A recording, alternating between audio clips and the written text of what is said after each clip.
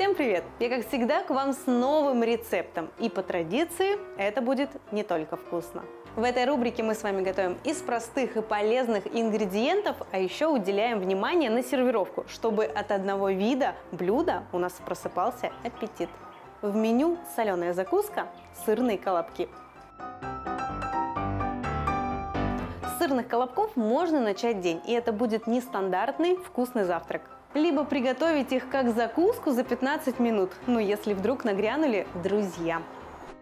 Берем творог рассыпчатый 100 граммов, твердый сыр, лучше сулугуни или дорблю, также 100 граммов, 2 яйца, соль, перец, любимые травы.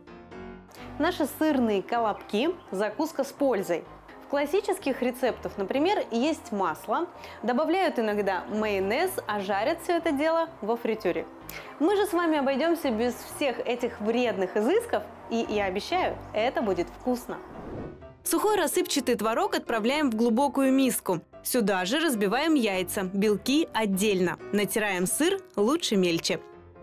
Сыр мы с вами дотерли. И пришло время белков. Мы не первый раз с вами уже отделяем их от желтков. Это прием для того, чтобы наше блюдо стало более пышным и воздушным.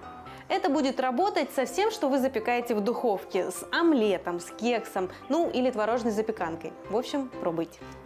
Взбиваем белки со щепоткой соли. Несколько минут и у нас с вами густая пена. Аккуратно вмешиваем ее в сырно-творожную массу, добавляем травки, чтобы наши колобки в печке не расплылись, не превратились в оладушки, нам нужно их запанировать. Но обычные панировочные сухари – это пустые калории, причем немалые. Я же предлагаю измельчить пшено или гречку в блендере и уже в этой крошке панировать наши будущие шарики.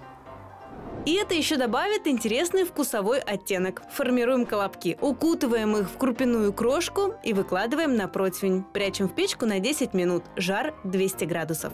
У нас вышло 11 сырных пампушек в одной 65 калорий. Белков 5, жиров 6, углеводов меньше грамма. Наши сырные колобки оказались товарищами привередливыми, поэтому они превратились в сырные плюшки. И есть их лучше с пылу с жару, пока горячие. Поэтому я с вами прощаюсь. Всем приятного аппетита!